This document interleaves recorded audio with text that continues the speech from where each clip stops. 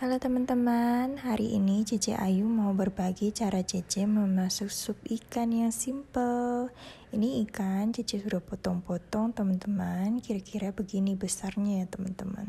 Jangan terlalu kecil, lalu kita cuci-cuci ya teman-teman. Ya cuci sampai bersih. Ini remis, Cece beli sedikit saja karena memang nggak perlu terlalu banyak ya teman-teman ini kita masukkan air ke dalam panci, kita masak kita masak sampai airnya itu mendidih ya teman-teman. Air tidak perlu banyak. Ini jahe tua ya teman-teman. Harus pakai jahe yang tua, jangan yang muda ya teman-teman biar lebih wangi. Ini daun bawang yang Cece potong kecil-kecil, kita masukin ya teman-teman. Boleh juga yang yang ingin panjang-panjang sesuai dengan selera kita masing-masing ya teman-teman.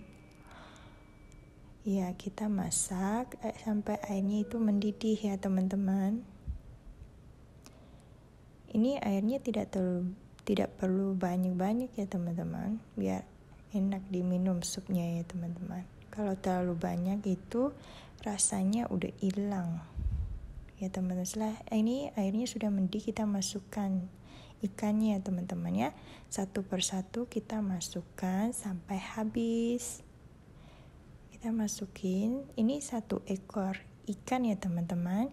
Cece beli yang sedang saja karena yang terlalu gede itu kebanyakan nggak habis ya teman-teman. Ini kalau di sini namanya lui ya teman-teman. Kita masukkan garam ya teman-teman.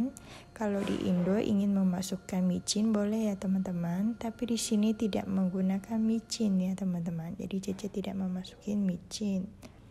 Dan orang Taiwan biasanya menggunakan arak ya teman-teman. Tapi Cece tidak suka ya. Jadi tidak masukin. Ini remis kita masukin juga ya teman-teman. Hari ini remisnya lumayan gede ya teman-teman.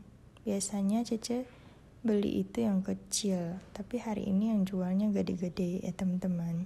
Kita masukin, kita masak ya teman-teman. Ingat ya teman-teman, air jangan terlalu banyak biar sup itu lebih enak ya teman-teman. Kita masak ya teman-teman. Jangan kebanyakan diaduk-aduk ya teman-teman. Nanti ikannya lembek-lembek gitu ya ya kita pelan-pelan masaknya ya teman-teman sampai ikannya itu masak gitu. Dan dan remisnya terbuka ya teman-teman. Ini kita biarin kita masak aja. Ya sambil masak kita boleh sambil cuci-cuci piring ya teman-teman atau apa aja. Kita masak sebentar ya teman-teman sampai masak dagingnya. Ini tidak terlalu tidak perlu terlalu lama ya teman-teman. Ini cepat ikannya itu cepat masak teman-teman ya.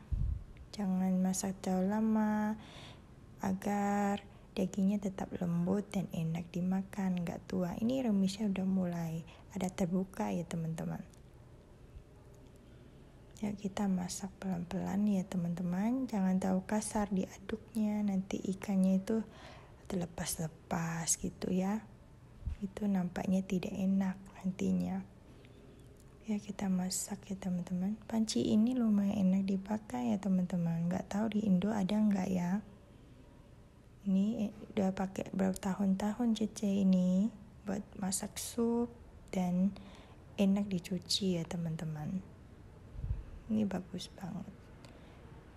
Ini nggak mahal juga ya setelah itu kita masukkan daun bawang hijaunya karena ini udah mulai mau selesai ya udah matang ya.